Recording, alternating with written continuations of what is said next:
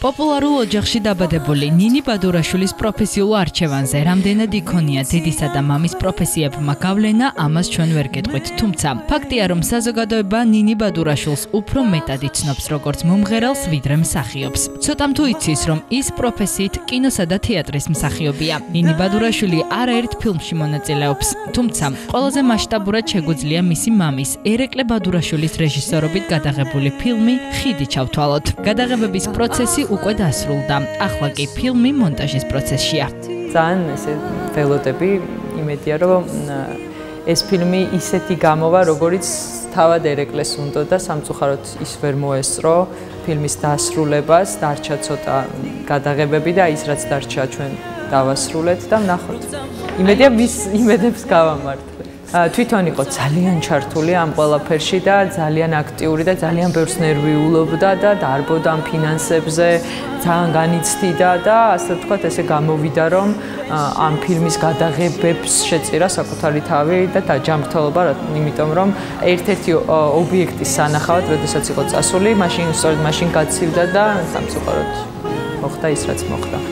როგორც ნინი ამბობს, რეჟისორ ერეკლე ბადურაშვილს ყოველთვის სურდა მის რომელიმე ფილმში ერთ-ერთი მთავარი როლი შვილისთვის მიეცა. სურვილი კი ფილმ ხიდში განხორციელდა, სადაც მომღერალი ერთ-ერთ მთავარ როლს თურქ მსახიობ ემრე კიზილირმიკთან ერთად ასრულებს.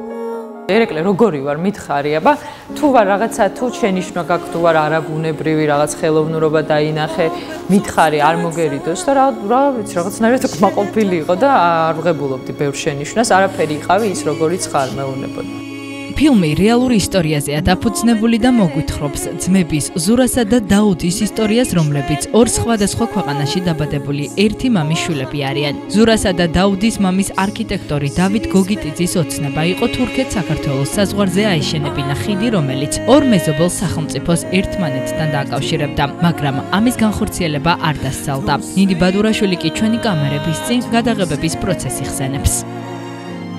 ნეტა ვინმეს გადაეღო თქო ფიქრობდი, იმიტომ რომ ერეკლეს მეტყველება თურქულ, ქართულ, რუსულ, ინგლისურად, იმიტომ რომ რაც კი რამე იცოდა, ყველაფერს ლაპარაკობდა. ინგლისური იცოდა, ნუ რუსული ყველაზე კარგად, მაგრამ რუსული რუსულ სიტყვებსაც რაღაცას უცბად ჩააკვეხებდა ხოლმე, მაგრამ იმათ არ ესმოდათ.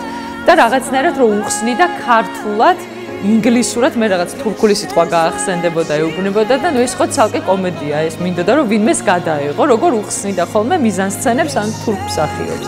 მე რა თქმა უნდა მე ვიდექი გვერდზე და მე უთარგმნიდი ხოლმე რომ ეს ძალიან კარგი ბიჭია ეს ემრე, ვინც არის თავაროლში თურქი მსახიობი და ეს მორჩილად უქნებდა თავს. yes, yes, yes, ვითომ ყველაფერი ესმოდა. ამ დროს მე რა გამომხედავდა მე და მე მე თავიდან უხსნიდი, იმიტომ რომ ეს ქართულად ქართულად ელაპარაკებოდა და შიგადაში იყო ეს თურქულ, ქართულ, ინგლისური სიტყვები.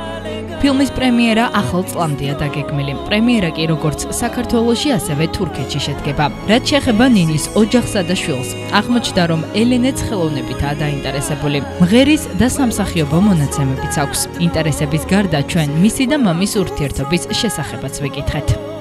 ძალიან კარგი ურთიერთობა აქვს მამას და ელენეს. მიხარია რომ ესე ყველაფერი დაალაგდა, ისე თავიდან, რა თქმა უნდა, იყო ის, რაც იყო, ყველამ კარგად იცის, მაგრამ ჩვენ იმიტომ ვართ გონიერი ადამიანები და ზრდასრულები, რომ ეს ჩვენი პრობლემა, საერთო პრობლემა, წყვილს შორის პრობლემა არ შევიმჩნიოთ და არ ამით ბავშვი არ დავაზარალოთ და მეც და ირაკლიც ისე დავლაგდით რომ დღეს არაჩვეულებრივი ურთიერთობა აქვს მამასთან ელენეს არ დადეგებზე დასვენებაზე ყოველთვის მიდის მამასთან მამა ჩამოდის მასთან და აქვს ძალიან ისეთი მჭიდრო და კარგი კომუნიკაცია რაც შეეხება მუსიკალურ კარიერას, ნინი ბადურაშვილი ახალ სიმღერებსაც მუშაობს, რომლებსაც ვიდეოკლიპის გადაღებები დაგეგმილია. ამას გარდა ჩანიშნულია რამდენიმე კონცერტი.